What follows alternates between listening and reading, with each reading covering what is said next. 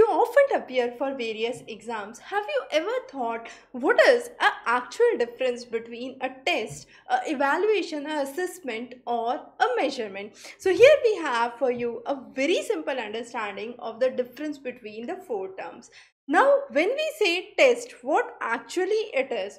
It is to assess someone's or a person's knowledge and determine how much he or she knows. So, test basically help us to understand the knowledge of an individual and it is a way through which you can actually examine someone or find out about the person's knowledge.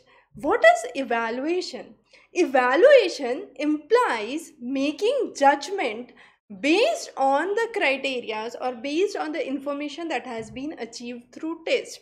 Now once you are conducting a test, you would be measuring it. That means measurement implies you are quantifying it you are putting it in numbers as simple as that so once there is a test let's say you appear for an exam there is a test now, this is to examine whether you know about that subject or not.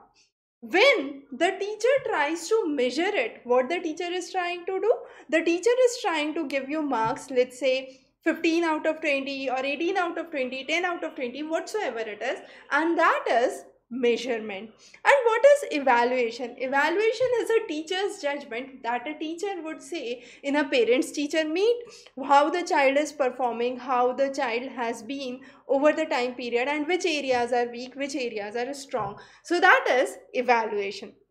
A very clear difference between test and evaluation. Now since we are on the end where we are trying to understand the decision making process or the judgment process under evaluation, let's talk about one more interesting term and that is assessment. And here is where most of the students get confused.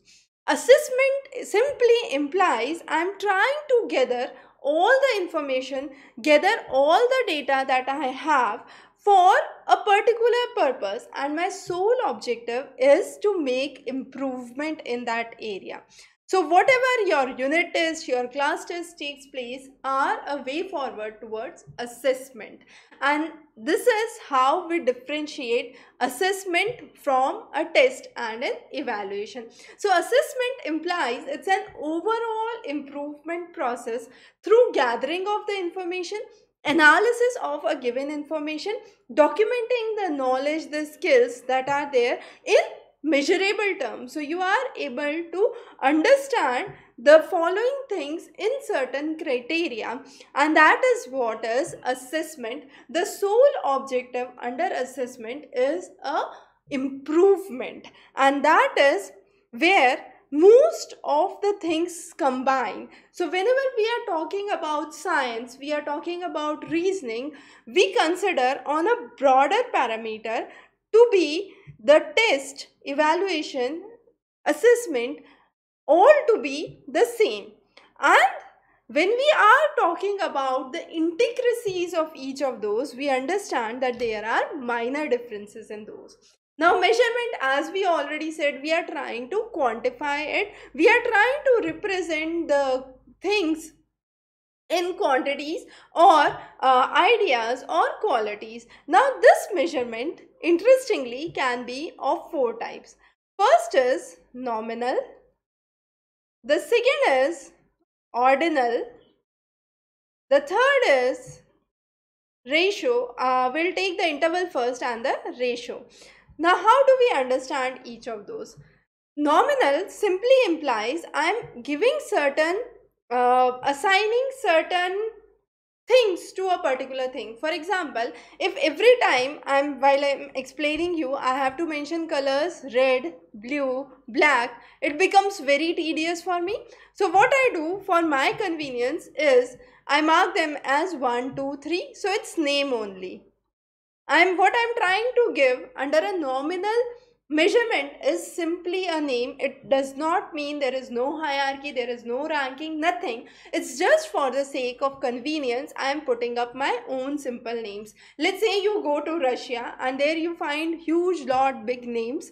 So what you do is for your convenience, you give them small abbreviations and that's as simple as that so that is nominal ordinal means you are trying to arrange those in order so let's say there was a race came first in the race who came second in the race and third in the race. And this is what you are trying to do when you are focusing on an ordinal measurement. You are trying to arrange them into order. The next is interval very very important difference between interval and ratio.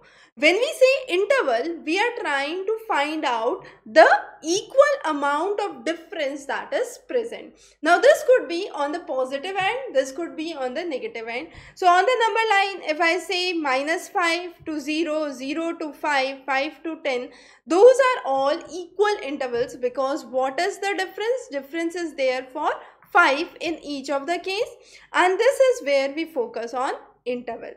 But when it comes to ratio, the things become very, very different.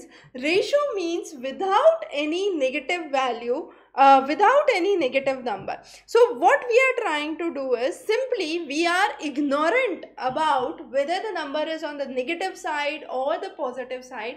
We are just comparing the quantity. So let's say I have twice as many chocolates as you.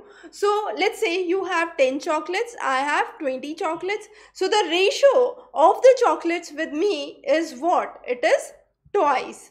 And that is where we find about the ratio measurement. So very very important difference under interval and ratio. In interval we are ignorant about whether the values go in negative direction or they go in positive direction. We are just focusing about equal amount of difference that is there and that is what is interval. However in ratio we are focusing on how much more or how much less than another. But in the same ratio, I cannot say an example of today is half as cold as yesterday. No, that won't be a sound example for this. So to make this example sound, I would have to have uh, a better interval score where I can say yesterday's temperature was 35, today's temperature is 36 uh, day after tomorrow the temperature is 37 so there has been a constant interval of 1 degree celsius that has been seen on a daily basis. So ratio simply means twice of half of one third of three times of.